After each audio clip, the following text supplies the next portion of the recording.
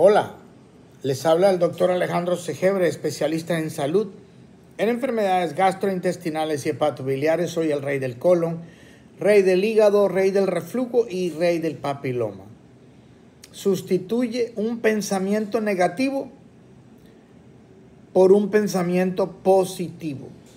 La ley de la sustitución. Cada vez que estés preocupado, tengas un sentimiento de temor, de odio, de rabia, de preocupación, de ira, de frustración, de culpa, de negatividad, de pánico, de indiferencia, de resentimiento, de remordimiento, de odio, de ira, de enojo, de rabia, cualquier tipo de emoción negativa que te esté perturbando, y que tú constantemente llegue a tu mente porque eso llega a tu mente a través de tu mente consciente. La mente consciente es la mente pensante, no la mente objetiva. Es la mente que ve, analiza, compara, decide, discierne, Dice sí o dice no. La mente consciente no puede tener dos pensamientos al mismo tiempo. No es como una aspiradora que tú le acoges, le sacas la bolsa y la vacías. No, la mente consciente siempre está pensando cosas. Siempre te llegan a la mente pensamientos. Por eso es que es tan difícil poner la mente en blanco. Cuando hablamos de poner la mente en blanco, es decir, no pensar en nada. Eso es casi imposible. Eso toma práctica para lograrlo, ¿ok? Entonces, porque si tú te pones y cierras los ojos y te pones a relajarte y a meditar y a tratar de que no te llegue ningún pensamiento a la mente, te llegan pensamientos que tienes que comprar eh, la cebolla, que tienes que ir al supermercado, que tienes que poner aire a las llantas, que tienes que bañarte, que tienes que hacer la tarea, que tienes que ir al taller. Siempre te están llegando pensamientos, pero si te llegan pensamientos negativos, emociones negativas que te perturban, que te molestan, que te hacen llorar, que te traen recuerdos, ¿ok?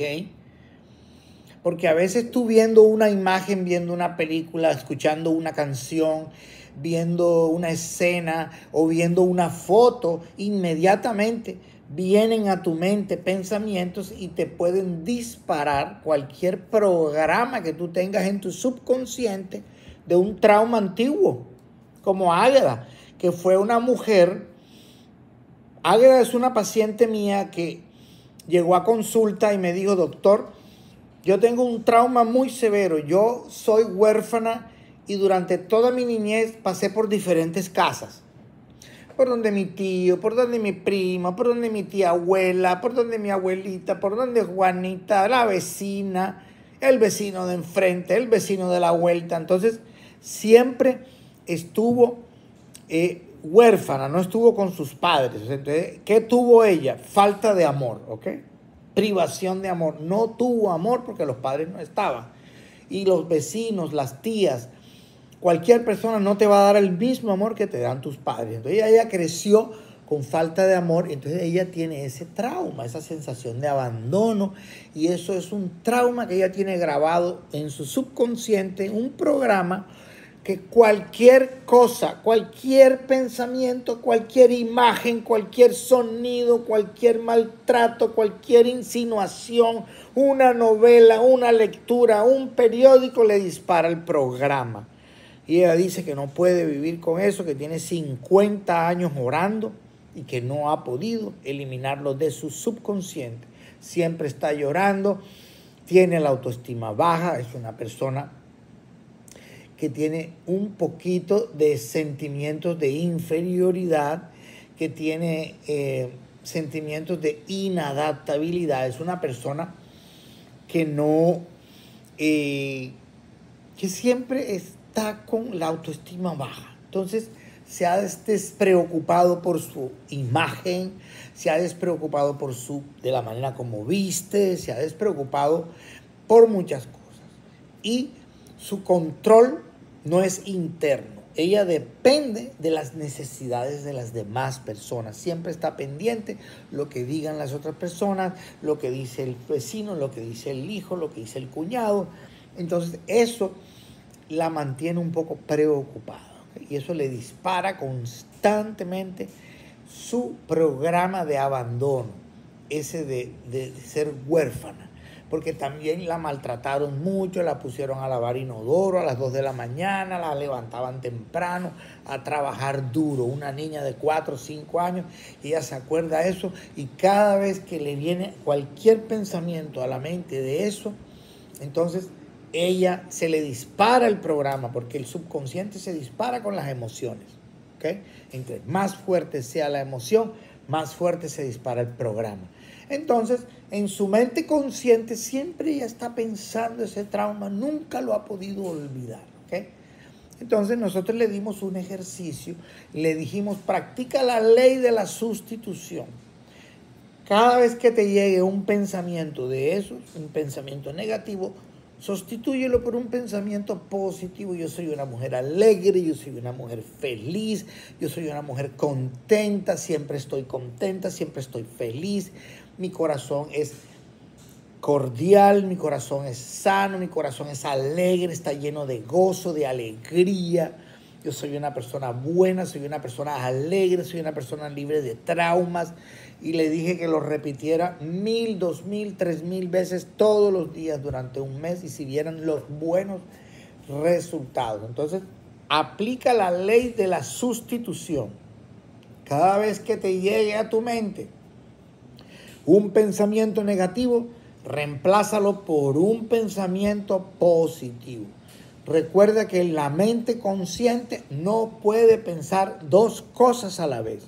O es sí o es no. O es negativo o es positivo. Es como una computadora binaria. ¿Ok? Entonces tú no puedes decir sí y no al mismo tiempo. No puede ser positivo y negativo al mismo tiempo. O es positivo o es negativo. Entonces cuando te lleguen los pensamientos negativos, Sustitúyelo por un pensamiento positivo. Si estás pensando en tristeza, si estás pensando en carencia, piensa en abundancia, piensa en alegría, piensa en felicidad, en armonía, en equilibrio, en que estás en un parque, que estás paseando, que estás feliz. Visualízate que estás feliz, que estás contenta, que estás alegre, que te ganaste la lotería, que estás comprando un carro, que eres una persona feliz, que eres una persona plena. ¿Ok? Que eres una persona excelente, fabulosa, extraordinaria, que tiene la habilidad para congeniar con las demás personas, que es una persona feliz, todo el tiempo está feliz, todo el día, las 24 horas es una persona feliz. Entonces tienes que reemplazar los pensamientos negativos por pensamientos positivos. Todo el tiempo, todo el día.